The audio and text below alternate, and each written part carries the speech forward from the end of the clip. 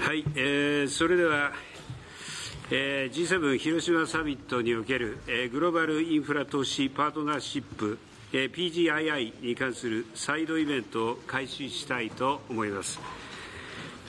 昨年、エルマウサミットで、我々 G7 首脳は、世界のインフラ投資ギャップを埋めるべく、さまざまな主体と連携をし、5年間で最大6000億ドルの官民資金を世界のインフラ投資に動員していくことを表明しました。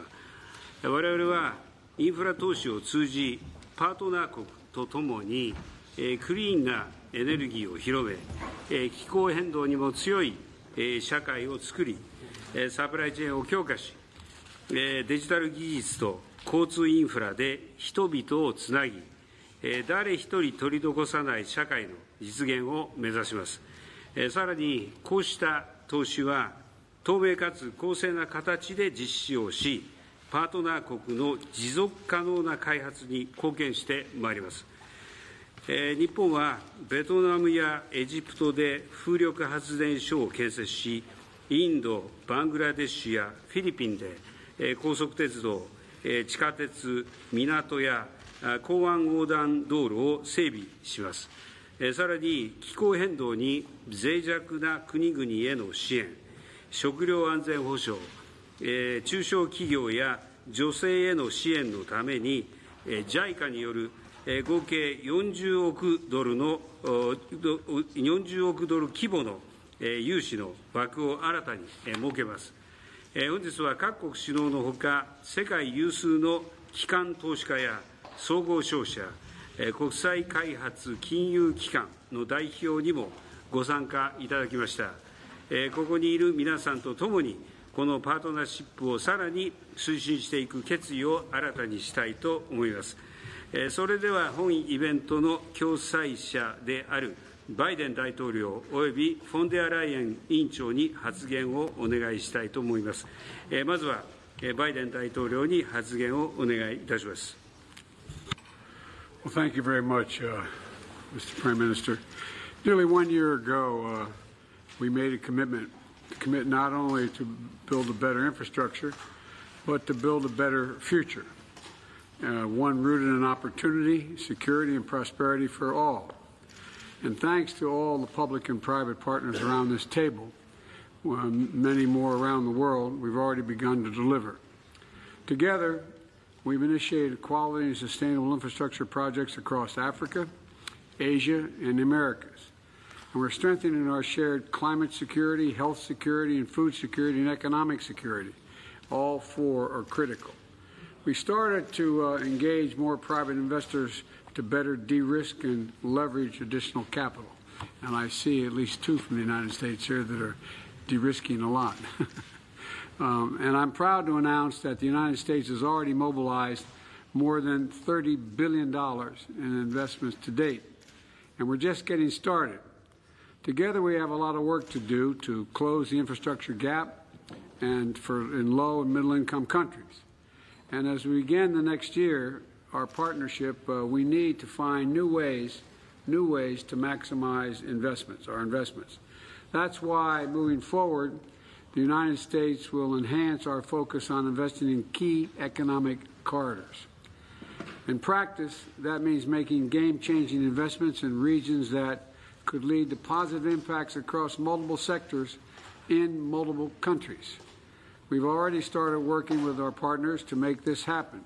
For example, in sub Saharan Africa, the U.S. Development Finance Corporation is looking to invest in this first railway project uh, on the continent. A rail line would extend from the western shores of Angola to the border of the DRC and Zambia, with the goal of ultimately reaching the Indian Ocean, connecting the continent east to west for the first time. This project will not only quickly promote trade and create jobs, over time, in my view, it will strengthen supply chains incentive, and, incentivize investments in agriculture and promote food security. And it's going to enable, in my view, us to better access clean energy and digital connectivity across the entire region, creating more security, more prosperity, more opportunities for generations to come. That's what our focus on the key economic corridors is all about investing in near term solutions that pay long term dividends. It's not only in Africa. We're starting similar work in Costa Rica, Ecuador, Indonesia, and other places I won't bore you with now. Let me close with this. During the G7 meeting, we're addressing a range of issues climate change, food security, gender inequality, economic resilience, digital connectivity, and global security. We're tracking these challenges together, and I think we're beginning to make some important progress. But if we don't move to do more to strengthen infrastructure in low and middle income countries, if we don't do more to help nations deliver opportunities and prosperity for their people, our impact is going to be limited. That's how, the, how critical this partnership is. That's how important our investments are. So today, as we begin the PGII's second year, let's all find ways to maximize our investment. Maximize it because it will do a lot not only for that particular undertaking, but it has an impact across the entire regions, in my view. And uh, to unlock even more public and private capital. And together, let's recommit to showing that democracies can deliver. Let me say it again democracies can deliver. We have to deliver to people around the world. I want to thank you all for your partnership and leadership in this vital issue. And now I'm going to turn it back to the Prime Minister. Thank you. はい、えー、ジョーありがとう。で続きまして、フォンデアライエン委員長にご発言をお願いいたします。 Thank you very much. Uh, a pleasure to see you here. Indeed, it has been described PGII an initiative of $600 billion, top quality infrastructure, where Europe is proud to contribute half of it. We want eyes level partnership with the partner countries. We want to find solutions to the real challenges low and middle income countries are facing today. And we want to be part of the investments in infrastructure projects that bring good jobs and lasting growth, and very important, they create value locally. Now, to reach this goal, we need the private sector. So, this could take us from the billions to the trillions. We need you, and that's why we're here today. I know that you want to know that we are in this for the long haul. Yes, this is for sure, we are in this for the long haul and we want to work with our um, partner countries in a way that we have full transparency, strengthen the regulatory environment, and develop skills. I know that such a conducive and regulatory um, uh, clear environment is essential for you to have the necessary predictability and security for capital investment. Global Gateway, the European part of this initiative, has started 90 projects worldwide so far. Let me share just three examples. In Namibia, Namibia, we are providing guarantees for private investments in green hydrogen. The goal here is twofold ensure clean energy for the country itself and generate new revenues for the country in uh, a way that it is able to export the green hydrogen, for example, to the European Union. In Rwanda, we are working with a vaccine producer to bring the mRNA technology to Rwanda so that in this country, together with you, the private sector, the country is able to produce the life saving vaccines for the region. In the Philippines, we are connecting our Copernicus satellite to build the first Earth observation system in Southeast Asia. And Nokia, who is with us today here, is investing in 4G and 5G infrastructure. So here, the cooperation will support national and regional capacities to tackle the impact of climate change and improve disaster risk management. So these were a few brief examples for the incredible power um, that public-private partnership can unleash. And I'm glad to announce that we are now mobilizing an extra 4 billion euros in loans for the Asian and Pacific regions. Ladies and gentlemen, um, the G7 partnership is our effort to be part of the solution to the infrastructure investment gap. We want to put a better offer on the table. If we are in a race, we are in a race to the top, and we will continue to work after Hiroshima the next, with the next presidencies of G7 in Italy and in 2025 in Canada. So happy to have you on board, and I want to invite you already to the first Global Gateway Forum in Brussels in October this year. Thank you for joining us. はい、えー、マズラありがとう、えー、続きまして本日は各国首脳のほか、え、共催国から4名の民間関係者及び世界銀行が参加しています。え、まずは、え、日本から、まあ、世界中の民間のノウハウと官民の、まあ、資金をつなぎ合わせ、インフラ事業を進める総合商社を代表して、日本貿易会のえ、国分文也会長に発言をお願いしたいと思います。会長お願いします。はい、ありがとうございます。Good evening, everyone. I'm honored to be here at this um, side event tonight. The Japan Foreign Trade Council is an industry organization um, representing uh, various types of the trade-related entities, one of which are so-called Sogo Shosha, or diversified uh, trading conglomerate. We are a group of unique firms involved in a broad range of businesses worldwide, from upstream to downstream, in the supply chains of many different industries. In infrastructure development, the Sogo Shosha organized project in their entirety. Not only do we act as investors, we are also involved in initial project planning, the structuring, structuring the overall uh, financing, and uh, overseeing the construction as well as the operation and maintenance management. We have a long and proven track record, not only in re- renewable energy, but also public transportation, which helps lower carbon emissions and uh, desalination projects to tackle water shortages and so many others.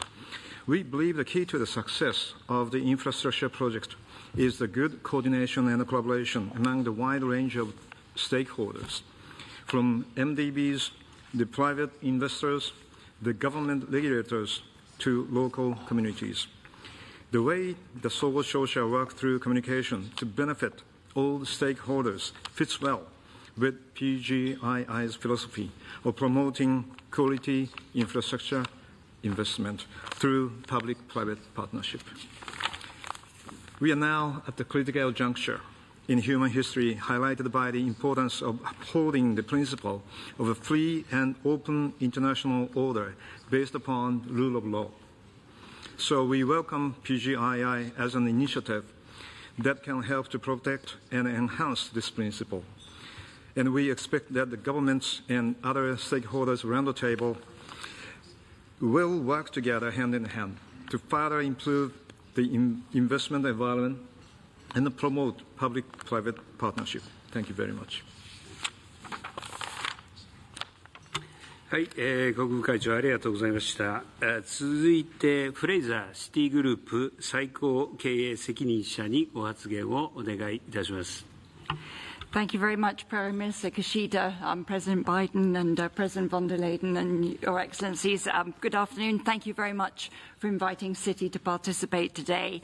Um, we do bring a, a, unique perspective of doing business in 160 countries around the world. And that includes decades of experience working on the ground in many emerging markets, supporting investment and driving economic growth in alignment with the objectives of PGII.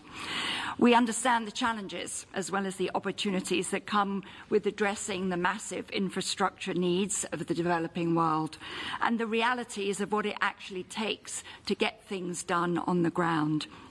Uh, with President Assoumani here, um, I'm delighted to highlight our work financing of a $125 million revolving credit facility to support female entrepreneurs in uh, Kenya, Gabon, in Nigeria, and the DRC. Um, our efforts extend around the world. That includes a $450 million sustainability linked bond, which is increasing digital access in Costa Rica, and the financing for a $350 million wind farm in northeast Brazil. And President Widodo, um, we're also helping finance a $400 million green bond to support geothermal power in Indonesia. We're proud of this work that we do around the world, but we know that much more needs to be done. Uh, and we certainly welcome the efforts to reform multilateral development banks. To be clear, however, um, more MDB financing, just used the same way, is not going to get us where we need to be. Instead, it's about how to use MDB financing to catalyze private capital. And there's a couple of different ways and ideas that we could deploy in the near term. The first is incentivizing private capital. We need to reduce the hurdles that frequently restrict the ability to bring private capital to the table. So that's aligning things like the global interpretation of Basel capital rules and country regulations around the world. It's a tad complex today. Um, by aligning the global interpretation of these rules will help us lower capital treatment requirements um, so that uh, those associated with MDB risk mitigation will enable more private capital in non-investment grade assets, which is the most critical piece here, to flow in. So what is currently a trickle can become a sustainable material flow. The second is also just about sharing expertise. Led by the World Bank, let's bring together technical experts from both sides. So from the development banks and the financial institutions so we can create more modern financial structures. Financial institutions such as Citi have capital markets and structuring expertise that MDBs don't have, whilst the MDBs have the geopolitical knowledge and project proficiency including vast amounts of performance decade um, performance data over decades that could really reduce down risk and pricing, therefore, of these projects that the capital market side that we lack. So bringing this together would be very valuable. And it would be remiss of me if I didn't ask for actions to not only mobilize the capital, but to accelerate getting projects actually online. So permitting um, and the mundane but important activities such as streamlining documentation and contracts and standardizing them would make an enormous difference. So it's not that hard. I am confident that if we have stronger collaboration, we can create enduring and sustainable flows of capital from the private sector that would raise the economic futures of developing countries around the world. Thank you. はい、えー、フレイザー最高経営責任者、ご発言ありがとうございました。あ続きまして、ルンドマルクノキア代表取締役社長にご発言をお願いいたします。Thank you very much, Prime Minister. Your Excellencies, it's a pleasure to be here to represent uh, the digital technology industry. And thank you, President von der Leyen, for the invitation. I would like to share Nokia's perspective on how to make initiatives like uh, PGII and Global Gateway as impactful, impactful as possible. Digitalization and connectivity improve safety, productivity, efficiency, and sustainability. That's a fact. They are particularly effective in physical industries such as agriculture and manufacturing, making them highly relevant in all developing economies. Transcontinental connectivity with subsea cables such as Medusa in the Mediterranean Sea or the planned Far North Fiber linking Japan, North America, Northern Europe binds us together even more strongly. So, encouraging digitalization and connectivity in partnership with trusted, reliable actors should be one of the PGII's most important objectives. We should be asking ourselves when any developing economy wants to invest in digital infrastructure or commit to digitalizing its economy, how can we make sure that G7 nations and their trusted vendors are the partners of choice? A big part of the answer is financing. G7 economies have done tremendous work in getting initiatives like PGII and Global Gateway off the ground. They are the best channel to make financing competitive, attractive, and joined up, and they can enable impact on a huge scale across sectors and continents. But we can still make the financial side of these initiatives even more attractive. Speaking for business, we would like development banks and export credit agencies from G7 nations to jointly develop attractive financing tools and offers to support trusted and sustainable infrastructure, so these tools and offers can become even more effective. I'm proud that Nokia is a partner for trusted digitalization. We are working closely with the European Commission to develop global gateway digital flagships to benefit countries, industries, and communities. Please consider these projects alongside other pro-digitalization opportunities with the urgency they deserve. Thank you. はい、えー、ルンドバルク代表取締役社長ご発言ありがとうございました。えー、続いて、えー、オグンレ氏、えー、グローバルインストラクトトラクチャーパートナーズ会長兼最高経営責任者にご発言をいただきます。Thank you, Mr. Prime Minister, and I thank the G7 for inviting us to be part of this session. GIP, we are one of the largest uh, managers of infrastructure assets around the world. We have 100 billion of assets that we invest in companies in energy, transport, water and waste, and digital sectors. I should say we have substantial investments in every single one of the G7 countries, and I did warn Prime Minister uh, Trudeau that Canada is the exception, but we're working hard to rectify that. We agree that mobilizing private capital is critical to addressing the urgent need for emerging market infrastructure investment. To date, together with our portfolio companies, we have invested over $15 billion of equity to provide critical infrastructure services in over 20 emerging market countries. In Asia, our Vena Energy company is helping to tackle climate and energy security issues by building and operating 3 gigawatts of solar and wind farms in India, Indonesia, the Philippines, and Thailand. Our Atlas Renewable Energy Company is doing the same thing in Latin America, with over 4 gigawatts of operating and under construction solar plants in Brazil, Uruguay, Chile, and Colombia. Over the next 10 years, we at GIP aim to invest some $20 billion in businesses that will provide essential infrastructure in emerging market countries. Turning to how the G7 and PGII can turbocharge the flow of private capital into emerging market infrastructure, we have three suggestions. One is to provide a pool of capital to support an instrument which can be modeled after the World Bank's partial risk guarantee program that helps to lower the perceived risk of these investments through, for a fee, providing a G level, G7 level backstop for some emerging market country obligations and undertakings. However, unlike the World Bank, apologies, David, the program must be user friendly, non bureaucratic, quick acting, nimble, and flexible. This will materially lower the cost of providing emerging market infrastructure investments. A second suggestion is to explore ways in which PGII can provide support for the development of critical financial products in emerging market countries. Things like longer tenor local currency financing and long dated currency and interest rate hedges that will uh, again help lower the cost and perceived risk of emerging market country investments. A third and fi- final suggestion is to provide a forum for facilitating the regular flow of information about investment opportunities in emerging market countries and for educating private sector investors about the tools and instruments that are available from PGII to support these investments. We at GIP stand ready to support the G7 and PGII in this important undertaking. Thank you very much. はい、えーえー、オグンレ氏会長、ご発言ありがとうございました。えー、続いて、マルパス世界銀行総裁に発言をお願いいたします。Prime Minister, uh, and thank you for hosting us here and also for leading the quality infrastructure efforts for nearly a decade.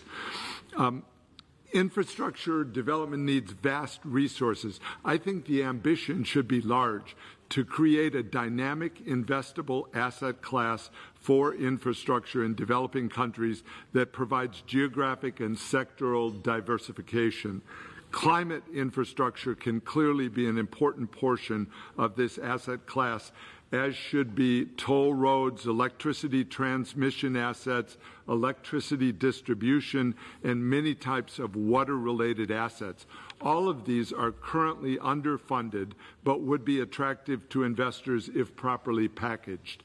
There are three main steps to achieve this standards, verification of results, and standardization of contracts and techniques. Uh, this can make thousands of individual assets available to investors. An important early step is to converge on a set of measurement standards.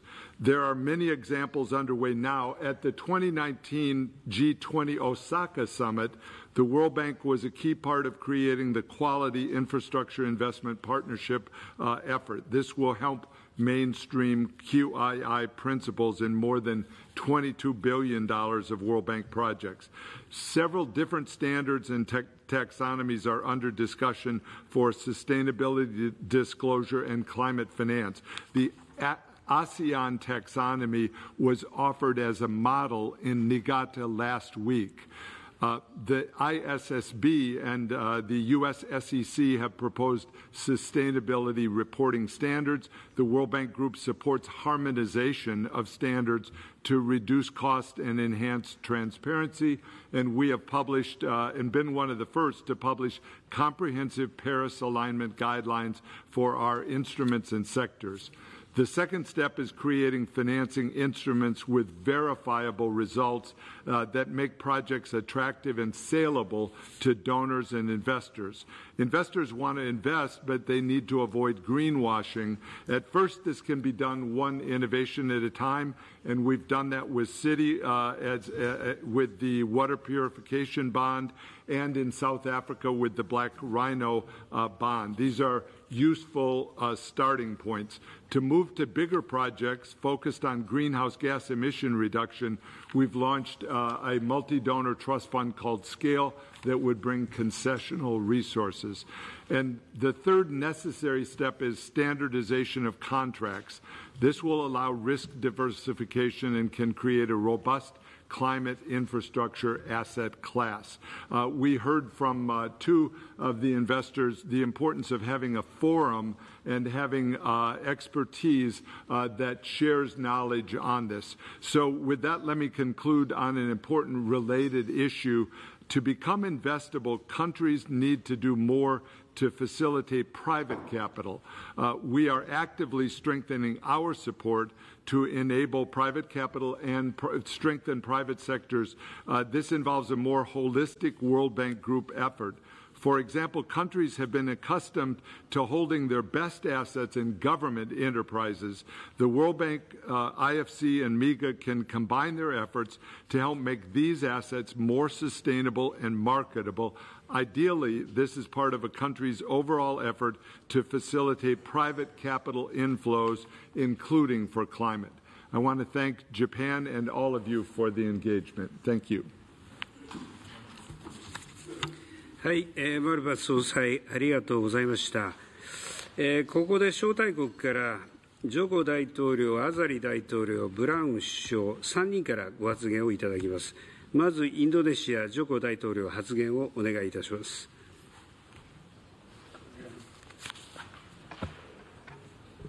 Uh, terima kasih uh, Perdana Menteri Kisida. Yang mulia, pembangunan infrastruktur baik berupa seaport, uh, airport, kemudian jalan tol, kemudian power plant adalah agenda besar Indonesia dalam meletakkan fondasi kemajuan untuk menciptakan pemerataan dan meningkatkan daya saing bangsa. Sebelumnya pembangunan infrastruktur hanya terpusat di Pulau Jawa. Satu pulau dari 17.000 pulau yang dimiliki oleh Indonesia, yang akhirnya berdampak pada 56 persen penduduk terkonsentrasi di Pulau Jawa, dan 58 persen aktivitas ekonomi juga terpusat di Pulau Jawa. Ketimpangan ini yang terus kita tekan melalui pembangunan infrastruktur di luar Pulau Jawa, baik berupa sekali lagi seaport, power plant, airport, jalan tol semuanya. Inilah yang eh, akan memunculkan sebuah pemerataan yang Indonesia sentris, termasuk di dalamnya adalah pembangunan ibu kota baru Nusantara. Kota berbasis hutan dan alam yang 70 persen adalah area hijau dan 80 persen sumber energinya berasal dari renewable energy. Ini adalah showcase transformasi Indonesia yang sangat terbuka untuk investasi dan kerjasama, baik di sektor transportasi, kesehatan, teknologi, pendidikan, pariwisata. Dan pendanaannya untuk infrastruktur kami lakukan dari APBN, kemudian oleh juga BUMN. Dan apabila IRR-nya baik, akan kita berikan kepada swasta atau investor. Oleh sebab itu, dukungan BGII bagi pembangunan infrastruktur di Indonesia sangat penting lewat investasi yang konkret dan pembiayaan inovatif lainnya. Mari berkolaborasi demi pemerataan dan kesejahteraan rakyat. Terima kasih. はい、えー、ジョコ大統領ありがとうございました。えー、続きまして、コモロ・アザリ大統領から発言をお願いいたします。Merci, Monsieur le Premier ministre. Au nom de l'Afrique que j'ai l'honneur de représenter, je vous remercie beaucoup et vous félicite de la façon de vous diriger les travaux avec les résultats qu'on obtient et surtout ce thème dont on parle aujourd'hui, c'est un, thème vraiment vital et qui concerne le monde entier, surtout l'Afrique. Donc, euh, je vous remercie tous, les partenaires bi, multi ou les privés, par rapport aux annonces que vous faites dans le cadre de l'investissement. Mais chez nous en Afrique, on dit que trop de viande ne gâte pas la sauce. Il faut en rajouter un peu, c'est toujours mieux. Donc, euh, Monsieur le Premier ministre, merci beaucoup pour ce thème, qu'il s'agit des infrastructures et vous dire qu'en Afrique, nous sommes orientés vers euh, ce projet, puisque je vous ai dit tout à l'heure que nous sommes dans la zone de libre-échange du continent africain qui nécessite des infrastructures, que ce soit des infrastructures routières, maritimes, aériennes, ou l'énergie, ou pourquoi, pas le digital. Donc nous sommes très concernés par euh, cette infrastructure-là, ces investissements, parce que nous sommes convaincus que c'est de quoi à pouvoir occuper nos jeunes pour essayer de les écarter des médias dérapages qui les utilisent pour l'extrémisme. Donc, si on investit, on encourage l'entrepreneuriat, ces jeunes-là, effectivement, ils seront occupés, on aura de la valeur ajoutée et c'est tout le monde qui va en bénéficier. Donc, euh, je vous demanderai très sincèrement à ce que, euh, merci beaucoup pour les annonces, mais le secteur privé qui s'installe en Afrique chez nous, qui fasse un partenariat avec nos entreprises de façon à ce que il y ait une formation qui soit concrète dans le cadre d'intérêt de, nous tous. Et ça peut encourager aussi justement les jeunes à s'investir dans l'entrepreneuriat et ça peut aussi dégager un peu l'administration de la lourdeur administrative. Donc, euh, encore une fois, je suis très sensible par rapport à ce thème, d'autant plus qu'il s'agit des infrastructures, il s'agit de l'énergie, et parlant d'énergie, on parle du, climat. Donc, euh, on sait tous le problème du climat mais on est en Afrique et surtout dans des pays insulaires qui sont très vulnérables par rapport à ce problème de climat. Et c'est pourquoi on investit dans le renouvelable, mais vous nous excusez parce qu'il nous faut une transition pour pouvoir y arriver, sinon on va créer d'autres problèmes. Donc de ce côté-là, nous comptons beaucoup sur ce partenariat, mais surtout je voudrais insister sur l'administration. Des fois, on est confronté à une administration très lourde, qui fait en sorte que quelquefois le projet ne peut pas finir, on est obligé encore de recommencer. Donc je dois insister sur ce problème-là parce que c'est très important. insister aussi, hein, j'ai entendu les investissements en Afrique, merci beaucoup. Mais en Afrique, il y a deux pays. Il y a un pays qui s'appelle un pays continent et un pays insulaire. Donc là, tout investissement, on doit tenir compte de ces spécificités. Il y a un pays qui s'appelle les Comores, qui est insulaire par rapport aux autres pays amis ou frères, mais insulaire aussi entre les îles. Donc là-bas, les infrastructures, ça concerne non seulement les routes, mais aussi il faut l'aérien, il faut le maritime. Et aussi, on est confronté à un phénomène. On fait une route, il y a la mer qui monte, il y a la montagne qui descend, donc il va falloir en tenir compte lorsqu'on investit, sinon c'est de l'argent qu'on perd. Mais il faut tenir compte de ces éléments-là, de façon à ce que cet investissement soit fait, qu'il soit durable et qu'il soit au, profit hein, de nous tous par rapport à ça. En tout cas, encore une fois, merci de cet engagement. Et je vous rassure que l'Afrique, on est disposé à essayer de faire en sorte que ce partenariat soit durable, et soit stratégique et dans l'intérêt de nous et de vous tous, que ce soit les partenaires et surtout les partenaires privés. Merci, Monsieur le Premier ministre. はい、えー、アザリ大統領ありがとうございました。続きまして、クック諸島ブラウン首相お願いします。Thank you, Prime Minister. Let me reinforce also the message by two previous leaders and give you a Pacific perspective on uh, infrastructure investment. There are a number of things that conspire to make infrastructure investment in the Pacific Islands difficult. One is the small population of many of our countries, the microeconomies, which make the return on investment very difficult to recoup, the distance. In my country of the Cook Islands, the distance from the main island to the northernmost island is the same distance as London to Rome. This is just one of the countries. And also the diseconomies of scale. It means that capital investment in infrastructure on a per capita basis is disproportionately high for Pacific Island countries. Too often we see the trade off between infrastructure development and fiscal space because of the debt burden that often accompanies infrastructure investment.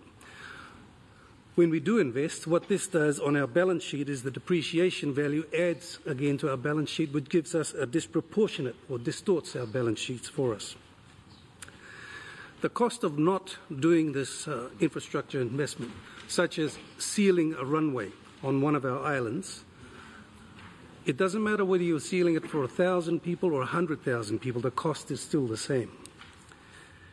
But if you don't do that, then what you see is the population on these remote islands, becoming part of the migrant labor force that moves to other countries to find work. And in our country, like uh, the other two countries, you're not just looking at one airstrip that you have to seal. In my country, we have to look at 10 airstrips that we have to seal. So the cost is replicated, it's magnified, and that's just for connectivity. We're also talking about digital connectivity with either satellite or cable. We're looking at replicating power generation on each of these small island communities. Uh, it's important then for the G7 and partners to look at tailoring the type of support that you can provide for small microeconomies in order for them to be able to participate in uh, the main center's economic growth, in order for these small communities to earn a living so they don't have to leave the country. Thank you, Prime Minister. はい、えー、ブラウン首相ありがとうございました。えー、それでは最後に招待国の声を受けて G7 主導からの発言をお願いしたいと思います。えー、ただあの予定の時間過ぎておりますので G7 からの発言はできる限り短くお願いしたいと思います。えー、まずはカナダトルド首相お願いします。Thank you very much. Well, much has been said, so I don't need to uh, uh, say too much other than I agree entirely with just about everything that has been said so far. Uh, I want to thank the U.S., uh, Japan, and the EU for convening this. I want to thank the leaders uh, of emerging economies, the key private sector players, along with my other G7 colleagues. Investing to close the infrastructure gap will grow the economy, create good jobs for the middle class, and help reduce poverty all around the world. At the G20 summit last November, Canada announced $750 million uh, recapitalization of our development finance institution, FinDev Canada, to help support infrastructure investment in the Indo-Pacific and beyond. Today, I'm announcing that Canada will contribute an additional $335 million for quality, sustainable infrastructure, working with FinDev Canada, the Mirova Gigaton Fund, the Maramantha Energy Investment SRL, and the European Bank for Reconstruction and Development. On doit poursuivre ce travail ensemble, tous unis, pour favoriser le développement des énergies durables, renforcer nos chaînes d'approvisionnement, créer de bons emplois, protéger l'environnement et favoriser l'égalité des genres. Et on doit le faire partout dans le monde. Euh, c'est pourquoi on est rassemblés aujourd'hui, euh, parce que là, on en a le plus besoin. On va pouvoir avoir le plus d'impact. Merci. はい、ジャスティンありがとう。で続きまして、ドイツ、ショルツ首相、お願いします。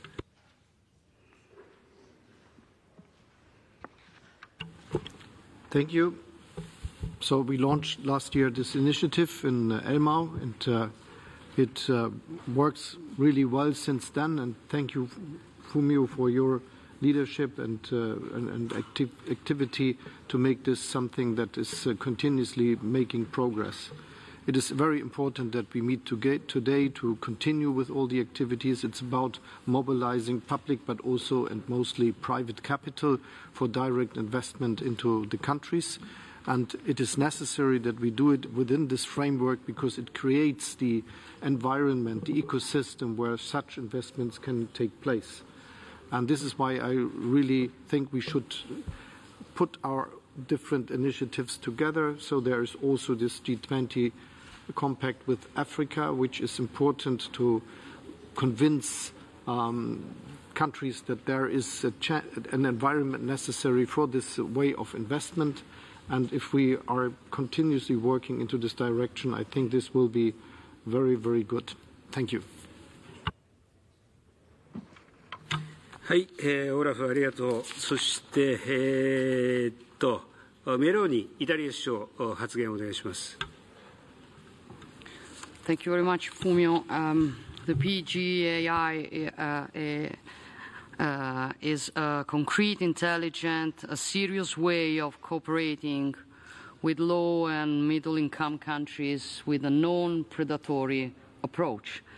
Uh, investment in infrastructures, they guarantee a higher multiplier than those in current expenditures and they foster a concrete development for the future of these nations. And that is why Italy has guaranteed its support through the EU Global Gateway, uh, focusing moreover on Africa with two projects in connectivity areas that form part of our Mattei plan for Africa.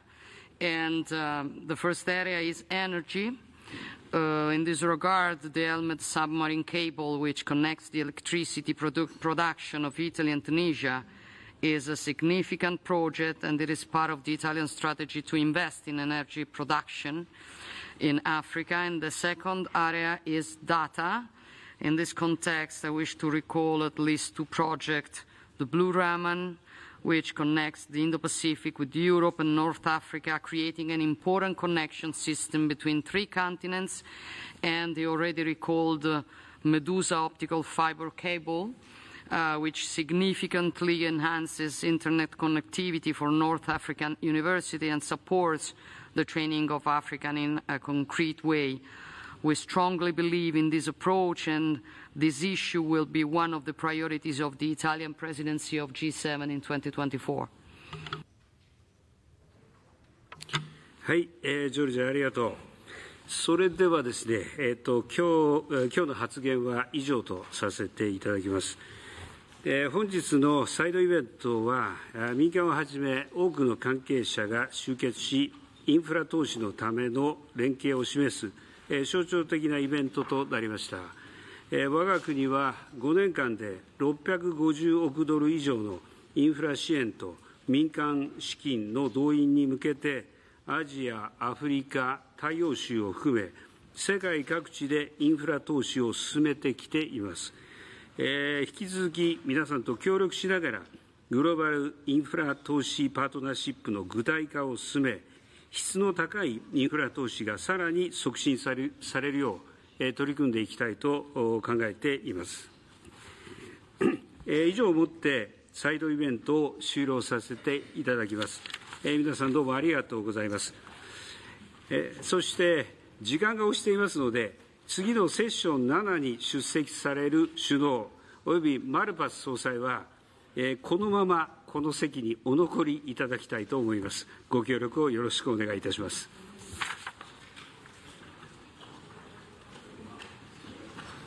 はい、ありがとうございました。